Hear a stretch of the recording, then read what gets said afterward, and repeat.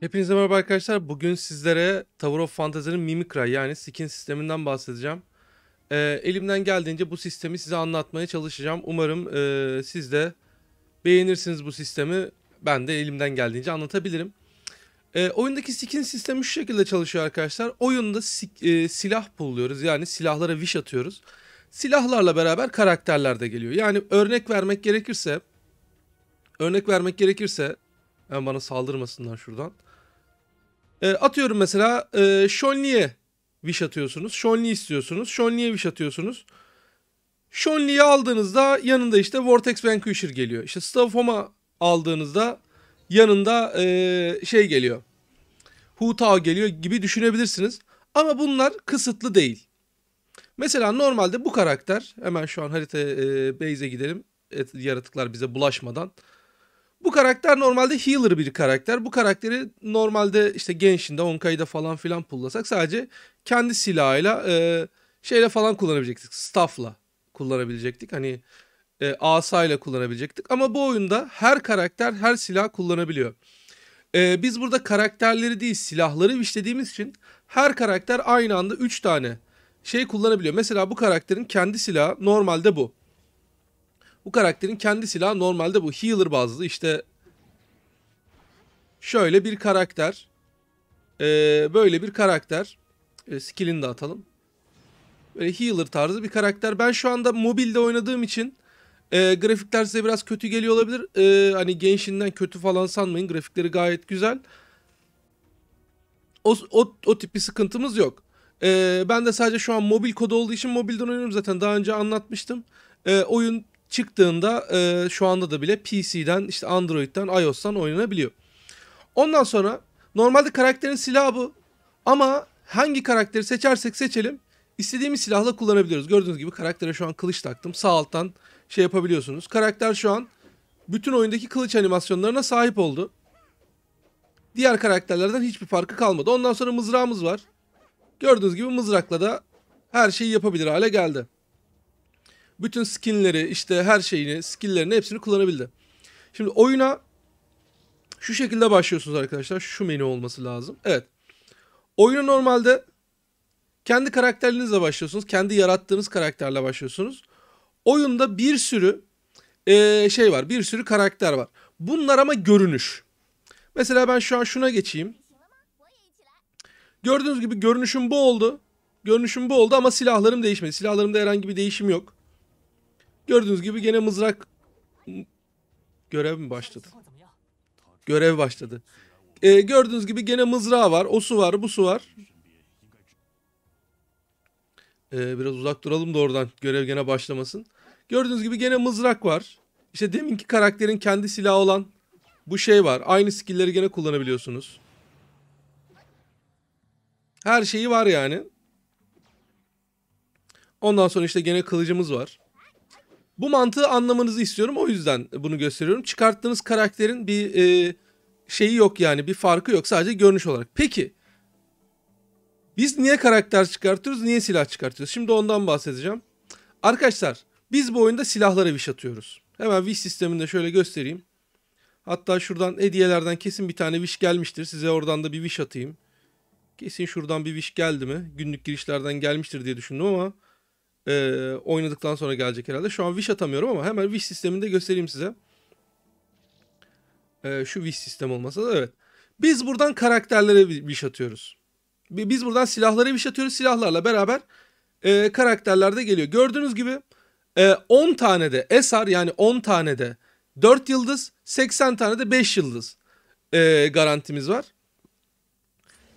Gördüğünüz gibi işte iki farklı banner var. Aynı Genshin'de olduğu gibi hani standart banner, karakter banner olarak düşünebilirsiniz. Ama ayrıyetten silah bannerı diye bir şey yok. Çünkü bu oyundaki bütün bannerlar silah bannerı karakterle beraber silah geliyor. Bunu hani e, şey yapmanızı, e, şaşırmanızı istemiyorum.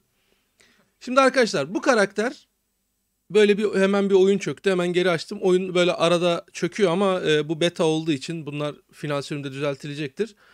E, neyse Atıyorum siz böyle bu silah istiyorsunuz. Eğer ki bu silah istiyorsanız da bu karakteri istiyorsanız da ikisini beraber almanız lazım. Ayrı ayrı almak diye bir şey yok zaten. Silah çıkarttığınızda karakter beraber geliyor. Bu silahı aldığınızda isterseniz bu silahı kendi karakterinizle de kullanabilirsiniz. Hani ana karakterinizle de kullanabilirsiniz. Kendi ya- yarattığınız karakterle de kullanabilirsiniz. Veya atıyorum bunun bu karakter görünüşünü kullanıp atıyorum bunun silahını kullanabilirsiniz. Mesela bu karakter mızrak mızrakla beraber geliyor. Bu karakter gördüğünüz gibi asa gibi bir şeyle geliyor. Şuna geçmeyeceğim o en son şey yapıyor. Bu karakterin isi- ismi Peppa. Gördüğünüz gibi Manaka var. Ee, bu bir mızrak karakteri. Elektrik mızrağıyla beraber geliyor. Burada Peppa var. Bu Peppa e, işte healer tarzı bir karakter. Bunlar 4 yıldız SR karakterler. Gördüğünüz gibi arka planı bunların mor. Şu arka planı sarı olanlarda evet bu sefer çökmedi. Bu arka planı sarı olanlarda SSR karakterler yani 5 yıldız karakterler. Bu mesela önceki betada olan bir karakterdi ama görünüşü çok kötüydü. Bu betada tamamen görünüşünü sıfırdan yapmışlar. Mükemmel bir hale gelmiş. Karakterin adı Zero. Ee, buradan böyle her şeyine bakabiliyorsunuz. Etrafına her şeyine bakabiliyorsunuz. Ee, gayet güzel bir karakter. Tam böyle bir anime karakteri olmuş yani. Önceki bayağı kötüydü. Ee, bu da oyunun ilk mimik raylarından. Ee, gördüğünüz gibi bu da böyle buzlu kılıç benzeri bir şey kullanıyor. Ve oyunda şu anda skin sistemi var. Hani hem yeni karakter çıkartma var hem karakterlerin skinleri var. Mesela bu karakterin ayrı bir skini var böyle. Gördüğünüz gibi kılıcı falan da değişik. Ee, bunlar şu an nasıl elde ediliyor kimse hani ben bilmiyorum. Zaten oyun daha dün çıktı e, beta'ya. Bunları öğrendikçe daha fazla şey yapabiliriz. Ee, mesela bu 4 yıldız bir karakterdi. 4 yıldız mızrağı çıkarttığımızda karakteri de aldık. 5 yıldız da bu. Ondan sonra ne var? Samir var. Gördüğünüz gibi çok e, işte seksi görünen güzel bir karakter. İki tane tabanca kullanıyor. Bayağı tatlı bir karakter. Şöyle çevirip bakalım etrafına. Tasarımını görmüş olun karakterlerin. Dediğim gibi şu an ben mobilde oynadığım için grafiklerin bir, tak, bir tık düşük olduğunu düşünebilirsiniz. Ama ben bu oyunu PC'de oynadığım için söylüyorum. Grafikler çok güzel yani. Gençten bir aşağı kalır ya da yok. Huma var. Ee, bir böyle ajan benzeri bir karakter. İşte e, kalkan kullanıyor. Bu kalkan aynı zamanda e, tokmağa dönüş, dönüşüyor. işte topuza da dönüşüyor. Bu da ayrı bir skin'i. Tabii ki e, karakterler skin değiştirdikçe ekstra bir seksileşiyor. Neden? Çünkü oyuna para verin diye. Ondan sonra böyle bir okçu var. Hemen böyle bunun başka skin'i yokmuş. Ee, bu da 5 yıldız bir karakter yani SSR bir karakter. Ee, bu karakteri de istiyorsanız silahını çıkartmak zorundasınız. Şu bacaklarına bakarsanız zaten o katlanma izinden seversiniz.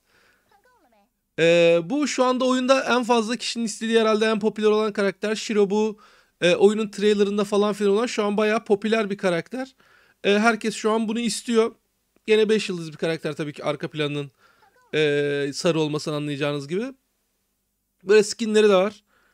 E, çoğu kişinin seveceği özellikle hanım arkadaşların çok seveceğine inandığım e, orada ne oldu görev mi başladı? King diye bir karakter var. Gördüğünüz gibi yani şöyle düşünün. Atıyorum bu karakteri oynamak istiyorsunuz ama buna ateşli büyük kılıç vermek istiyorsunuz. Mesela bu e, büyük kılıcın ateşli olanı da var. Hop buna verdiniz. Kılıcı ne oldu? Dilik oldu. King. Ondan sonra Cobalt B var. Bu da böyle kocaman bir silah olan bir karakter. Kocaman bir silah olan karakter. Bu kimmiş? Coco Nasıl okunuyor? Coco Writer'ın diye okunuyor. Nasıl okunuyor acaba? Çok tatlı gördüğünüz gibi karakter. Bu da 5 yıldızlı sanırım. Evet bu da 5 yıldız bir karakterdi. Bu bayağı iyi. Bu bayağı hoşuma giden bir karakter. Ateş katanasıyla beraber geliyor bu karakter. Ee, hani sırf ateş katanası için bile 5 yıldızlı ateş katanası için bile bunu isteyebilirim. Bu çoğu e, gencin seveceği bir karakter işte ninjamsı. E, bir karakter neymiş? Karasuma. Bunun adı neymiş? Claudia. Bu da Karasuma. Baya güzel görünen hani anime animevari karakterler var. Bundan sonrası bunlar e, bu gördüğünüz Gene e, mor bir karakter yani Esar seviye bir karakter. Dört yıldız olarak düşünebilirsiniz. Gene bir tane daha böyle dört yıldız bir karakter. Bu, bu kedinin adı neydi bunun? She diye okunuyor herhalde. Nasıl okunuyor bilmiyorum. Çünkü genelde X, I diye okuyorlar veya 11 diye mi okuyorlar? Nasıl okuyorlar acaba bilmiyorum. Hilda var.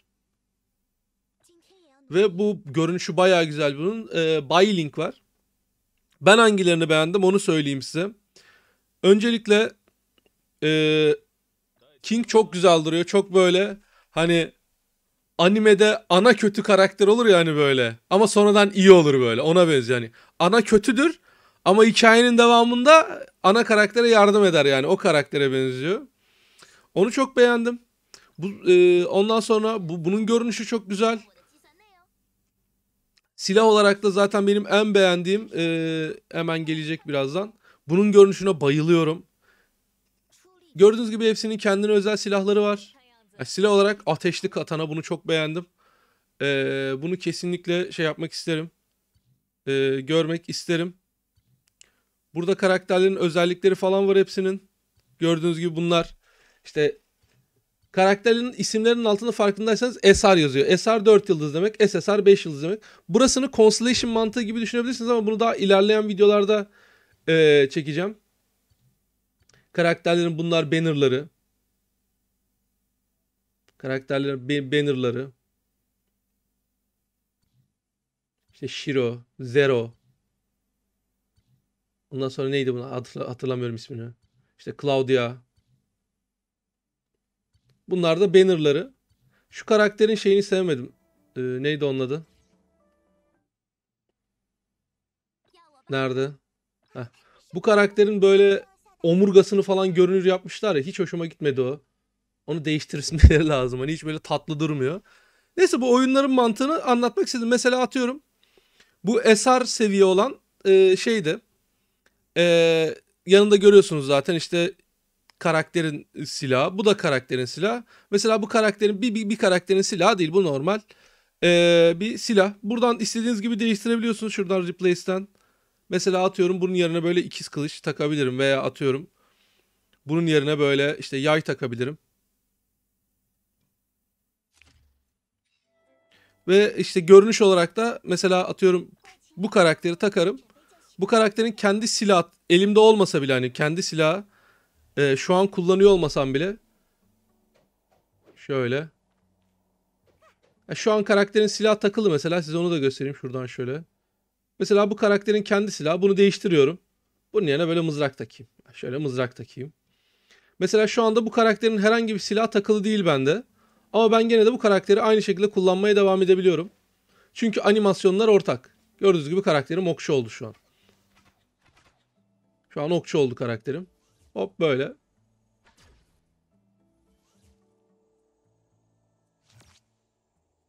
Okçu oldu. Böyle şöyle skill'i falan. Havada ok atma. Yani her şey var. Oyunda e, bir karakterle yapamayacağınız herhangi bir şey yok yani. Es SR olsun, şey olsun. E, tabii bunları kullanmak zorunda da değilsiniz. Dediğim gibi e, ana karakteri de kullanabilirsiniz. Mesela sadece silahları alıp kendi yarattığınız karakterle kullanabilirsiniz. Bunlar da mümkün. Kız karakter, erkek karakter yaratmak mümkün. Hatta e, görünüşünü de değiştirmek mümkün e, ilerleyen zamanlarda sonradan. Gördüğünüz gibi bu şekilde hop şöyle. Bu karakter normalde healer ama ben istediğim gibi kullanabiliyorum. Karakterlerin kendilerine özel ekstra şeyleri yok yani. Ee, işte bana 5 yıldız karakter çıktı şöyle oldu falan filan diye şey yok. Constellation mantıkları var ama onu, onu ileride anlatacağım. Umarım e, işinize yaramıştır bu video. Umarım hoşunuza gitmiştir. E, biraz e, telefondan olduğu için biraz farklı anlatmış olabilirim. Biraz zor anlatmış olabilirim ama oyun çıkınca tekrardan bu tip videoları şey yapacağım. E, oyun şu anda sadece e, Çin'de var. Çince olarak var fakat çoğu yerde e, Latin alfabesiyle işte İngilizce olarak şey yapmışlar, açıklama yazmışlar. E, hani mesela işte burada weapon yazıyor yani. İşte mesela şurada shopping area yazıyor işte falan filan. E, hani her şeyin İngilizcesi yok ama hani neyin ne olduğunu anlayabileceğiniz kadar basit seviyede şeyler var yani. Basit seviyede çeviriler var ki zaten hani mesela ben şunun wish simgesi olduğunu bildiğim için buraya tıklayabiliyorum. Hani bunları öğrendiğim için şey yapabiliyorum. Ee, simgelerden neyin ne olduğunu anlayabiliyorsunuz. Çok zor değil. Oyun oynanabilir seviyede. Ee, oyun tam olarak herkes çıktığından sonra da e, rehber videolarıyla anlatmaya çalışacağım. Evet arkadaşlar bugün sizlere e, Mimikray sistemini anlatmaya çalıştım. E, karakter sistemini anlatmaya çalıştım. Umarım anlamışsınızdır. Aynı şeyleri 20 kere söyledim çünkü e, aynı şeyleri 20 kere söylememe rağmen e, işte karakter ve silah sistemini anlamayan arkadaşlar vardı. Umarım anlatabilmişimdir. Oyunun gameplay'ini merak ediyorsanız oyunun gameplay'ini. Ee, şeyi var YouTube'da bunun bir sürü videosu var. Önceki beta işte ondan önceki beta bir sürü e, beta videosu var kanalımızda. Her şeyimiz var yani. Ee, son betadan videolar var. İşte bütün wishleri nasıl açtığım falan filan var. Hepsi var. Şu anda grafikler kötü görünüyor biliyorum çünkü şu an telefondan oynuyorum. Umarım e, yakın zamanda PC'den de oynayıp PC videolarından da sizlere içerik üretebileceğim. Beğenmeyi unutmayın arkadaşlar videoyu yorum yapmayı unutmayın. Sonuna kadar izlediyseniz abi sonuna kadar izledim yazmanız bile yorumlara yeterli. Bunları unutmayın arkadaşlar bir sonraki videoda görüşmek üzere. Hepinize iyi oyunlar. Bay bay.